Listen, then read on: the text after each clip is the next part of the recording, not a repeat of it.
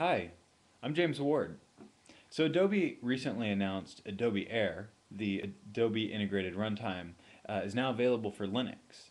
And so I wanted to give you a quick demo of using the new Flex Builder for Linux with Air support and uh, Adobe Air on Linux. So here we go. First let's start out. We're in, uh, we're in Flex Builder on Linux. This is Ubuntu Linux and I've built a quick little application that just plays a video. And in Flex Builder, uh, this is really only a few clicks to create a new Flex project and make it a desktop application with Air. So let's, let's run this little application here and see what it does. So let's go run this as an Air application and we'll see that this is now playing a video. So we have our, our video playing and uh, this is a video of when I participated in the cardboard derby a long time ago. We built an Empire State Building out of cardboard. Okay, so that's cool. But uh, you know, one of the things that Air can do that's pretty neat is it can actually talk to read files from the file system, uh, things that you can't do in the browser. It can do system notifications, native drag and drop, those sorts of things. So I wanted to actually um, do something interesting that we could do on Linux, but can't do inside the browser to show off Air. So we're going to take the same application and I've created a component called a turbulent application. So we're just going to turn this application into a turbulent application instead of a windowed application. We'll change the close tag here as well. So this is a component that I created that just reads the accelerometer values from my laptop. So now that compiled okay, now let's run this one. We'll run that as an air application. And now we're seeing the same exact video, but now because it's hooked up to my accelerometer, as I turn my laptop around, you'll see that the video is actually rotating in corresponding to the, the accelerometer values in my, uh, in my laptop. So as I rotate, it's trying to maintain the same pitch and roll that, that my laptop has as it's playing this video and I'm using Papervision 3D to be able to actually do the, the 3D transformation of this video while I rotate my laptop around. So it's Papervision 3D using the accelerometer values from uh, using the accelerometer values that I'm reading from the file system on Linux. So we'll close that out. Now let's say that we wanted to distribute this video uh, or this, this application out to some other people. Now unfortunately, this one only runs on Linux, although Air applications in nature are cross-platform. They work the same across Windows, Mac, and Linux. Unfortunately, only Linux, as far as I know, allows you to read the accelerometer values from a file. So that's pretty cool. This will be just a, an, a Linux Air application, um, but most of the time, Air applications are cross-platform.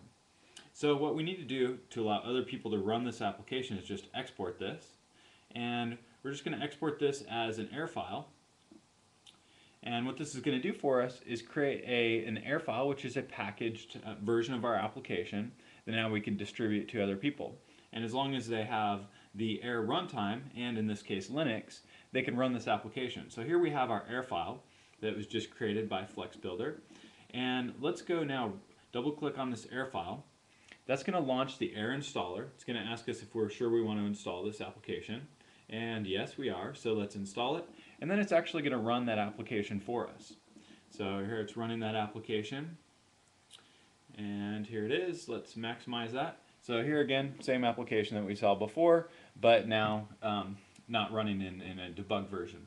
And we can go and now launch this anytime we want just from, from our, uh, our applications menu on Linux. Here it is, video turbulence, and we can go launch that here, and again, the application. So there's also a lot of other really exciting Air applications being built uh, with, with Flex and Air. Um, one of those is the eBay desktop. So eBay desktop, not that one, eBay desktop is an application that allows people to browse eBay uh, just on as a desktop application. They can get system notifications when they're outbid, um, and they, they have a, an interesting browsing experience for eBay. So we can go search for things like a motorcycle. This is actually searching the live uh, eBay, and let's go find a motorcycle here that my wife would definitely not want me to have. Um, don't see any on the first page. It's a popular day for motorcycle accessories. Here's a here's a BMW. Definitely a motorcycle my wife doesn't want me to have. Now, this is just uh, a really souped up version of eBay's site. Uh, we can flip through the pictures here uh, once they load. Um, we can flip through the pictures of this motorcycle. We can read the description. Interestingly, because Air includes an HTML web browser, uh, WebKit, and the the uh, regular Flash virtual machine, we actually can have have both HTML and the highly interactive content. Let's try a different one here, so we can get some images to load. There we go.